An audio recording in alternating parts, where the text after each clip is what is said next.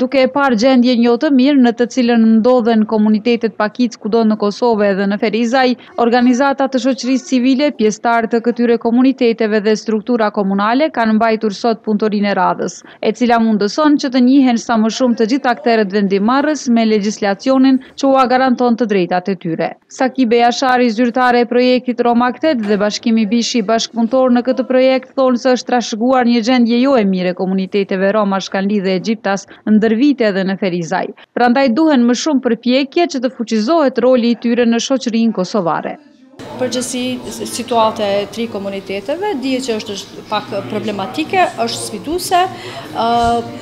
E gjitha qëllimi i këtij programit është me një anë të fuqizojmë, domethënë, administratën lokale për përfshirjen e komuniteteve në vendimmarrje edhe në aktivitetet tjera që kanë të bojnë me, me komunitetin dhe me qytetarin. Në anën tjetër është programi synon me e mobilizu komunitetin,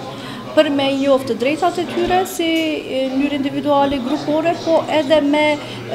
me aktivizu vetë komunitetin për me u kyç në proceset që kanë bëjnë me ta. Po sipas raporteve të ndryshme,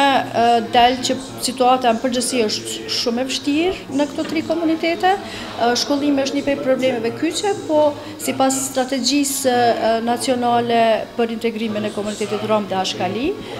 aty listohen katër prioritete, domethënë është edukimi, punësimi, shëndetsia, dhe banimi.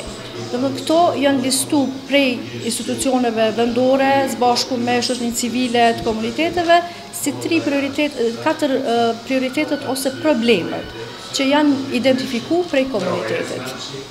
Në disa raste, kemi çashtje që ka mungesë vullnetit politik për me realizu një gja shumë e thjeshtë,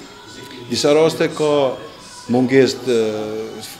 financave për me mujt me realizu një projekt ma kapital, kurse ky projekt ka për qëllim, ky program ka për qëllim me afru, me përafru situatën deri në atë masë sa me qenë komunat ma të përgjegjshme në ofrimin e shërbimeve dhe komunat me qenë, të thamë, kushtimisht ata që kërkojnë fonde prej programeve të ndryshme të Unionit Evropian që i ofrohen. Ne e dimë që shumicën e rasteve komunat edhe pse kanë vullnet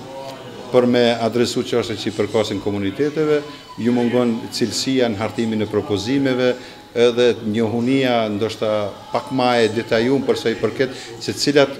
organizma ndërkombëtarë sponsorojnë çfarë lloj programeve. Ky program ka për qëllim edhe me ofru ekspertizën te komuna,